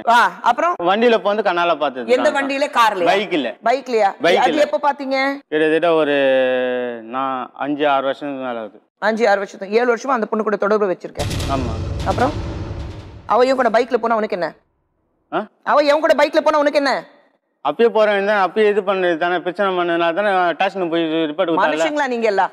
தான் பண்றது மட்டும் தான் நியாயம். அந்த டிபிக்கல் அந்த மேல் ஈகோ இருக்கு பாருங்க. ஆம்பளை நான் இப்படிதான் இருப்பேன். எங்க அப்பா பண்ணிருக்காரு அதனால தான் நான் பண்ணுவேன். இதுதான் நியாயம். ஒரு கேள்வி கேட்டு அந்த பொண்ணு வந்து பொண்டாட்டி வந்து இன்னொருத்தர் கூட உட்கார வச்சுட்டு ரெண்டு பேருக்கு சோறாக்கி போட்டா நீ ஏத்துப்பியனா? அதை எப்படி ஏத்துக்க முடியும்? அதை மட்டும் உடனே உங்களுக்கு சுருன்னு ஏறும். மனைவி இருக்கும்போது இன்னொருத்தர் கூட தொடர்பு வைக்கிறது. மனைவி வேண்டாம் பிள்ளைங்க மட்டும் எனக்கு கொடுத்தா போதும். புருஷன் எந்த தப்பு பண்ணியிருந்தாலும் பரவாயில்ல. ஐ வாண்ட் ஹிம் பேக் இது சட்ட ரீதியாக எப்படி கொண்டு போகணும்? அதை டிஸ்கஸ் பண்றதுக்காக மெட்ராஸ் ஹை கோர்ட்ல இருந்து வழக்கறிஞர் மிஸ்ஸஸ் அனிதா வந்திருக்காங்க. வணக்கம். இது வந்து இல்லீகல் கான்டாக்ட் அப்சல்யூட்லி இப்போ வந்து இவங்க ரெண்டு பேரும் முடிவு பண்ணணும். எனக்கு இவரோட வாழ விருப்பம் இல்லைன்னு சொல்லிட்டாங்கன்னா இவங்க அந்த குழந்தைக்கு மைனர் வரையும் இவர் தான் கண்டிப்பா மெயின்டெனன்ஸ் கொடுத்தாகணும் வைஃப்க்கு கொடுக்கணுமே? ஒய்ஃபுக்கும் கண்டிப்பா கொடுத்தாகணும் ரெண்டு பேருக்குமே கொடுத்தாகணும் இவர். பைகமி அப்படி என் கணவர் நான் மனைவியாக உயிரோடு இருக்கும்போது என்னை விவாகரத்து பண்ணாம இன்னொரு பெண் கூட தொடர்பு வச்சிருக்காரு. அது குற்றம். இந்திய தண்டனை சட்டப்படி வந்து ஃபோர் நைன்டி ஃபோர் செக்ஷன் படி வந்து இவருக்கு வந்து சிறை தண்டனை ஏழு ஆண்டு கண்டிப்பாக உண்டு. ஏழு ஆண்டு தண்டனை உங்களுக்கு. சரிங்களா? அதுக்கப்புறம் பொண்டாட்டி வேண்டாம் எனக்கு பிள்ளைங்க இருந்தா மட்டும் போதும். அது அவங்க முடிவு பண்ணணும். அப்படி அவங்க முடிவு பண்ணாங்கன்னா சரி நீ போயிடுப்பா. எப்படி வேணாலும் நீ போயிடு அப்படி சொன்னாங்கன்னா நாலு பசங்க அம்மா கூட தான் இருப்பாங்க. உங்க கூட வர்றதுக்கு வாய்ப்பு இல்லை. மெயின்டெனன்ஸ் நான் கொடுக்குறேன். ஆனா அவங்க கூட இருக்குன்னு நான் இது இல்லை. அப்ப நீங்க ஜெயிலுக்கு போகணும். நான் வந்து மெயின்டெனன்ஸ் தான் கொடுக்க முடியும். இல்ல அவங்க நீங்க அவங்க டெஃபினட்டா கம்ப்ளைண்ட் கொடுக்குறாங்க ஒன்று வந்து சோஷியல் வெல்ஃபேர் டிபார்ட்மெண்ட் கலெக்டர் ஆஃபீஸில் சோஷியல் வெல்ஃபேர் டிபார்ட்மெண்ட்டில் போய் இவங்க கம்ப்ளைண்ட் கொடுக்கலாம். செகண்ட் ஒன் வந்து நம்மளுடைய எழிலகம் பில்டிங்கில் வந்து மகளிர் ஆணையம் சொல்லியிருக்கு. மகளிர் ஆணையத்தில் இவங்க கம்ப்ளைண்ட் கொடுக்கலாம். நீங்க தான் முடிவு பண்ணணும். எனக்கு வேண்டாம் தெளிவா இருக்காரு. வேண்டாம்னா கூட அப்போ அவ கூட போகக்கூடாது மேடம். அவளோட ரிலேட்டிவ் இருக்கக்கூடாது. நீங்க அதுல ஒண்ணும் பண்ண முடியாது. எனக்கு வந்து என் பிள்ளைங்களுக்கு அப்பனா இல்லைன்னா அப்போ அடுத்தவங்களுக்கு போய் இதுவாக இருக்கக்கூடாது. இல்லை கண்டிப்பாக இவங்க கோர்ட்டில் வந்து இவங்க தரப்பத்துடைய கருத்தை சொல்லலாம். ஜட்ஜுக்கிட்ட இவங்க கவுண்டரா அப்ளை பண்ணணும். கவுண்டரா சொல்லி அதை ஜட்ஜு சொல்லுவார் முதல் மனைவியோட தான் வாழணும்னு சொல்லி ஆர்டர் கொடுப்பாங்க. கண்டிப்பாக இவங்களுக்கு கண்டிப்பாக சாதகமான முடிவு கிடைக்கும். ஒரு பொய் வழக்கு நீங்க போட்டிருக்கீங்க. மனசாட்சி தொட்டு சொல்லுங்க மனநோயாளியா? பொய் வழக்கு உங்களுக்கு தெரியுதுல? தெரியுது. தெரியுதுல? ஓகே. அப்போ ஜட்ஜ் இதுதான் இது கண்டுபிடிக்கிறதுக்கு பெரிய விஷயமே கிடையாது. மனைவி கூட வாழலைன்னா? ஏழு வருஷம் ஜெயிலுக்கு போனோம். மனைவி கூட இப்போ இவங்க போட்ட மனுக்கு பதிலாக இவங்க ஒரு மனு போடலாம். என்னுடைய கணவரோட சேர்த்து என்னை வாழ வைங்க அதுதான் ரிஸ்ட்ரிக்ஷன் கான்ஜுவல் ரைட்ஸ்னு சொல்லுவாங்க. அந்த மனு போட்டாங்கன்னா இவர் ஒரு ஏழு வருஷம் எட்டு வருஷம் கோர்ட்டுக்கு அலைய வேண்டியது இருக்கும். கண்டிப்பா வந்து இவங்க என்ன மனுவில் ப்ரேயர்ல கேட்டிருக்காங்களோ சேர்த்து வாழ வைப்பாங்க. அதுதான் ஆர்டர் போடுவாங்க. அந்த ஆர்டர் ஒபே பண்ணலைன்னா இவங்க ஒரு இபி போட்டு அந்த லோக்கல் போலீஸ் ஸ்டேஷன் மூலமா இவரை கூட்டு வந்து அந்த வீட்டில் வாழ வைப்பாங்க. இல்லைன்னா சிறைக்கு அனுப்புவாங்க. தெளிவா இருக்கீங்களா அவங்க பேசுனது? தெளிவாக இருக்கிறேன் மேடம். இப்போ நான் கூட வாழலைன்னா அவங்க என் வீட்டில் இருக்கக்கூடாதுல்ல. இவங்களுடைய வாழ்க்கை கெடுத்ததுக்கு உடந்தையா இருந்த இவங்களுக்கும் பனிஷ்மெண்ட் கண்டிப்பா உண்டு. எப்படி லக்ஷ்மி? கண்டிப்பா கோர்ட்ல உங்களை கூப்பிடுவாங்க. கோர்ட்ல உங்க நிக்க வைப்பாங்க. இப்போ நீங்க என்ன முடிவு பண்றீங்க? வீடு யாருது? அவங்க இருக்கிற வீடு யாருது? இல்ல நீங்க எங்க இருக்கிற வீடு. எங்கள் அம்மா வீட்டில் இருக்கிறாங்க. சரி. யாரா நீங்க உங்க அம்மா வீட்ல இருக்கிறீங்களா? இல்லை மேடம் எங்கள் மாமியாருக்கு அம்மா வீடு. தனி ரெண்டு ரூமு அதில் நானும் என் பசங்களும் இருக்கோம். ஒன்றுத்துல எங்கள் மாமியார் இருக்காங்க. இப்போ அந்த வீட்டில் நான் இருக்கக்கூடாதுன்ற பிரச்சத்துக்கு பேசிட்டு இருக்காங்க அப்படிங்களா? அந்த வீட்ல அவங்க இருக்கக்கூடாது. இப்போ என்ன ஜெயிலுக்கு அனுப்பணும் சொல்கிறாங்கல்ல அப்படி போனாங்க அங்கே அங்கே வீட்டில் அந்த அது சான்ஸ் இல்ல. அவங்க வீட்ல தான் இருப்பாங்க. உங்க பேர்ல வீடு இருந்தாலும் நீங்க எனக்கு மனைவி வேண்டாம் சொன்னாலும் இருங்க இருங்க. மனைவி வேண்டாம் சொன்னாலும் நீங்க மேம் இது சொல்றதுக்கு அவர் ரைட்ஸே கிடையாது. ரைட் இவங்க மனைவி அவங்களுடைய வாரிசு அந்த வீட்டில் தான் இருப்பாங்க. புரியுதா? நீங்க நாளைக்கு விவாகரத்து வாங்கினாலும் உங்க மனைவி உங்க குழந்தைங்க அந்த வீட்ல தான் இருப்பாங்க. யோசிக்கிறீங்க? அனிதா. சொல்லுங்க மேடம். இவருக்கு என்ன சொல்ல வரும் ஏன்னா சட்டம் சத்தமா தெரியாது அவருக்கு. என்னைக்கு வந்து ஒரு லாயர் சொன்னாரு என் மனைவி பைத்தியக்காரி அதனால தான் நான் எழுதி கொடுத்துட்டேன். நான் கையெழுத்து டைவர்ஸ் மனைவே வந்து அப்பட்டமா போய் நல்லா தெரியுது. அதாவது இவருக்கு வந்து இந்த லேடியோட இருக்கணும். அவ்வளவுதான். அதுக்காக இவங்க மேல ஒரு பொய்யா குற்றச்சாட்டு சொல்லணும். அதுக்காக ஒரு அதுக்கு ஒரு அதுக்காக இதை பயன்படுத்திக்கிறார் மென்டல் டிசார்டர்னு சொல்லிட்டு. பட் இது வந்து ஓய்வு வழக்கு போட்டதுக்கு மறுபடியும் சட்ட ரீதியாக ஒரு பிரச்சனை வரும்ல? கண்டிப்பா அவங்க நினைச்சா டெஃபர்மேஷன் கேஸ் போடலாம். அந்த என்ன சொல்லக்கூடாது. யார் யார் இவங்களுக்கு கூட உடந்தையா இருந்தாங்களோ அவங்க மேலேயும் சேர்த்து இவங்க வந்து ஒரு டெஃபர்மேஷன் வழக்கு போடலாம். அது இவங்க ஒரு காம்பன்சேஷன் அஞ்சு கோடி மூணு கோடி ரெண்டு கோடி கேட்கலாம். இல்லைன்னா ஜெயிலுக்கு போகலாம் எப்படி? என் மனைவி மனநோயாளி சொல்லியிருக்கீங்க. இந்த நிகழ்ச்சியில நீங்க ஏத்துக்கிட்டீங்க ம- மனைவி மனநோயாளி கிடையாது. இது கோர்ட்லயே ப்ரூவ் ஆயிடும் மனநோயாளி கிடையாது.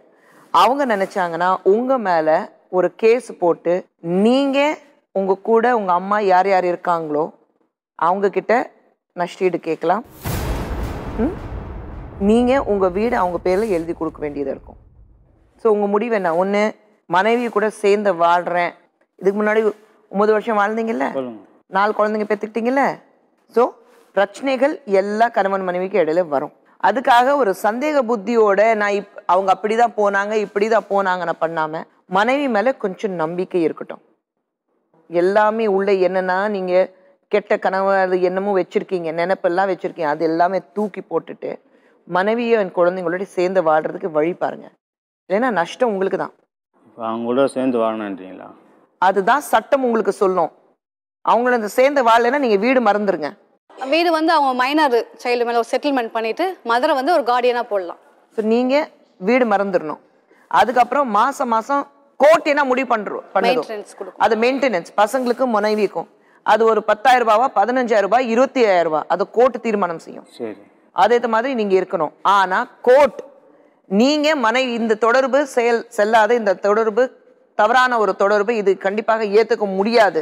அப்படின்னு அவங்க மண்டல நாலு தட்டு தட்டி நீ மனைவியோட தான் வாழணும் கோர்ட் சொல்றதுக்கு தொண்ணூத்தி ஒன்பது பர்சன்ட் வாய்ப்பு இருக்கு. இல்ல ஏழு வருஷம் ஜெயில் இருக்கு. ஸோ ஃபைனல் முடிவு என்ன பண்ண போறீங்க? நான் கூட வாழக்கூடாதுன்னா நான் எங்கள் அம்மா வீட்டில் தான் இருப்பேன். சரிங்க. உங்க அம்மா வீட்ல அவங்க இருக்காங்க? அவங்க பின்னாடி இருக்கிறாங்க நான் முன்னே இருப்பேன் அவள் தான் அதுக்கு ஆனால் நான் அவங்ககிட்ட வந்து வீட்டுல இருக்கிறதுக்கு நான் எங்க வரணும்? அப்படி தான் இருக்க முடியும். அப்படி இருக்கிறதுக்கு நீங்க வந்து நிக்க வேண்டிய அவசியமே கிடையாது அவர் வந்து அவர் ஃபுல் மைண்ட் ஃபுல்லா இந்த லேடியோட தான் இருக்கணும். அவர் என்ன சொல்றாரு? சட்டத்துல சரி சொல்லிடுவாங்க. நான் என் அம்மா வீட்ல இருக்கேன். எப்ப வேணாலும் அவன் வீட்டுக்கு போயிட்டு நான் பார்த்துட்டு வந்துருவேன். அப்படிதான் நடக்குது மேடம் அப்புறம்? யூஸ்வலாவே அதான் நடக்குது. அம்மா வீட்ல இருப்பேன்னு சொல்றாங்க. கோர்ட்ல நீங்க பக்கத்து பக்கத்து வீடு தானே? சரி, அதான் கோர்ட்ல தான் சொல்வீங்க. நான் அம்மா வீட்ல இருந்துடுறேன்னா அப்ப எதுக்கு கல்யாணம் பண்ணிக்கிறது மேடம் மனைவியோட குழந்தைங்களோட வாழ்றது தான் வாழ்க்கை அதுதான். அம்மாவும் பாத்துக்கணும் ஒரு பக்கம். அவர் செஞ்சது தப்பு இல்ல மேடம் நான் வந்து என் கூட பைக்ல போனது தப்பு. ஆனா அனுபவிப்பான் கண்டிப்பா. என் வயிறஞ்சு சொல்ற அனுபவிப்பான். சத்தியமா அந்த மாதிரி புத்திலாம் எனக்கு கிடையாது மேடம் இன்னமும் அந்த குழந்தைங்கள வச்சு நான் வீட்டோட தக்க என் மாமியார் பக்கத்துல தான் இருக்கிறேன் என்ன தப்பு பண்றேன்னு சொல்ல சொல்லுங்க பார்க்கலாம். அதுதான் நீங்க வந்து கோர்ட்ல வந்து டிஸ்ட்ரிபியூஷன் காஞ்சோட இப்ப இவரு செஞ்சது நியாயம். அப்ப நான் செஞ்சது அவரோட? சேர்ந்து வாழணும்னு ஒரு மனு போடுங்கம்மா அவளும் ஒரு பொண்ணு தானே. அவ மனசு இறங்காது. அது தவறு சொல்லுங்க பார்க்கலாம். இல்ல அவங்களுக்கு தண்டனை உண்டு. அவங்களுக்கு தண்டனை உண்டு. அவர் பதில் சொல்ல மாட்டாரு. உங்களுடைய கடைசி முடிவு என்ன? அந்த வீட்ல இருந்து யாருமே உங்களை வெளியே அனுப்ப முடியாது. மெயின்டெனன்ஸ் சார்ஜ் உங்களுக்கு கொடுத்தே ஆகணும். உங்களுக்கு உங்க குழந்தைங்களுக்கு மெயின்டெனன்ஸ் சார்ஜ் கொடுத்தே ஆகணும். அதுக்கப்புறம் உங்க கணவரோட தான் அந்த சேர்ந்த வாழ்வை நீங்க சொன்னீங்கன்னா கோர்ட்ல அதுக்கு நீங்க ஒரு மனு போடணும். இல்ல என்னை இப்படி பைத்தியக்காரத்தனமா என்ன வந்து ஒரு தவறான ஒரு பொய்யான வழக்கை மேல போட்டிருக்காரு நான் பைத்தியம் போட்டிருக்காரு.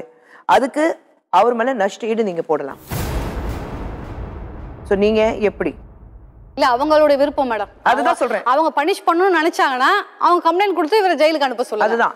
நீங்க தான் முடிவு பண்ணணும். இல்ல என் புருஷன் எனக்கு முக்கியம் கண்ணு முன்னால் இருக்கணும்னு நினைச்சாங்கன்னா இருக்கிற வரையும் அவர்கிட்ட மெயின்டெனன்ஸ் வாங்கி கண்ணு முன்னால் பார்த்துட்டு வாழ வேண்டியதுதான். இது ரெண்டு தான் அவங்க கண்ணு தான் முடிவு முன்னாடி எடுக்கணும். பார்த்துக்கிட்டு நான் இன்னொருத்தி கூட வாழ்றது எப்படி மேடம்? நான் பார்த்து உட்காந்து இல்ல, அது இவ்வளவு நாள் அப்படி பார்த்து தானே மேடம் இப்ப இன்னைக்கு இந்த இடத்துல வந்து நிக்கிறேன் நான். அதுதான். கம்ப்ளைண்ட் கொடுங்கன்னு சொல்றோம் நாங்க. துர்கா நீ வேண்டாம் சொல்றாரு. எனக்கு இவ இந்த பொண்ணை வேண்டாம். வேண்டான்னு சொல்றதுக்கு காரணம் நான் சொல்றேன் மேடம். கடன் கடன் வந்து என் தலைமையில விழும் இதான் ரீசன் இப்போதைக்கு இருக்குது. அது பத்தி நீங்க ஏன் கவலைப்படுறீங்க? நீங்க என்னென்ன சொல்றீங்களோ அது எல்லாமே கோர்ட்ல போட்டீங்கன்னா எல்லாமே அவர் தலை மேல விழும். உங்க தலை மேல எதுவுமே விழ போறது இல்ல கத்தி அவர் தலை மேல தான் தொங்கிட்டு இருக்கு நீங்க முடிவு பண்ணணும். அந்த கடன் பிரச்சனை இப்ப அவர் மேல தான் விழும். அவர் மேல தான் விழும். ஏமா ரைட் மேம் கண்டிப்பா மேடம் ஸோ அந்த கடன் பிரச்சனை அவர் தலை மேல தான் விழும். உங்க தலை மேல என்னை எதுவுமே வர போறது இல்ல மாட்டாங்க. உங்களை யாரும் கேட்க மாட்டாங்க. சரி மேடம் ஆனா நீங்க கோர்ட்டுக்கு போய் இந்த மாதிரி விஷயம் இருக்கு நீங்க கிளியரா சொல்லணும். மேடம் ஸோ நீங்க ஒண்ணு ஜெயிலுக்கு அனுப்புறதுக்கு முடிவு பண்றீங்களா? இல்ல அந்த வீட்ல நான் இருப்பேன் அவர் அவங்க அம்மா கூட இருக்கட்டும் எங்க வேணாலும் போட்டோம் மாசம் மாசம் உங்களுக்கு வரும். சரி மேடம் நீங்க சொல்ற மாதிரி நான் செய்றேன். அப்ப நீங்க சட்ட ரீதியாக ஆக்ஷன் எடுக்கிறேன். ஆக்ஷன் எடுக்கிறீங்களா? ஓகே எல்லாமே நீங்க பாத்துக்கணும். நீங்க விலகி போறது உங்களுக்கு நல்லது. சட்ட ரீதியாக உங்க மேல ஒரு நடவடிக்கை இருக்கும் கண்டிப்பாக. கம்ப்ளைண்ட் கொடுப்பேன் மேடம் கண்டிப்பா. பசங்க இருக்காங்க அவங்களுக்காக. அந்த வயசுக்கு வந்து ஒரு பொண்ணு இருக்கு. அவளுக்காக நீங்க இவர்கிட்ட இருந்து விலகி இருக்கணும். எந்த காரணத்துக்கும் நான் வேண்டாம் சொல்லிட்டேன். அவர் வந்துட்டாருன்னா நீங்க சொல்ல முடியாது. நீங்க ரெண்டு பேரும் ஈக்குவலி ரெஸ்பான்சிபிள் அந்த பிரச்சனைக்கு. சரிங்களா? கல்யாணம் பண்ணிக்கிட்டு மனைவி மேல ஒரு சந்தேகம் ஒரு சின்ன பிரச்சனை அந்த பிரச்சனையை பெருசாகி நாளைக்கு மனைவி வேண்டாம் எனக்கு பசங்க இருந்து மட்டும் போதும்னா எத்தனை தடவை பார்த்துட்டோம். ஆனா இன்னொருத்தருக்காக எனக்கு மனைவி வேண்டாம் சொல்றது இப்பதான் பார்க்குறோம். நிறைய விஷயங்கள் இந்த மாதிரி வாழ்க்கையில நடந்துட்டு இருக்கு ஆனா குடும்பத்தோடைய அர்த்தம் குடும்பத்தோடைய முக்கியத்துவம் என்னன்னா புரியாம கோதண்டராமன் மாதிரி சில பேர் வாழ்ந்துட்டு இருக்காங்க இந்த மாதிரி வேற யாருமே இருக்கக்கூடாது. ஆனா இதுதான் வாழ்க்கையின் நிஜம். இன்னொரு நிஜத்தோட மீண்டும் சந்திப்போம். நிஜங்கள் இது தீர்வுகளுக்கான களம் நிஜத்தை இருந்தாலும் நிஜம் வெளியே வரும். ஒரு நாள் நிஜம்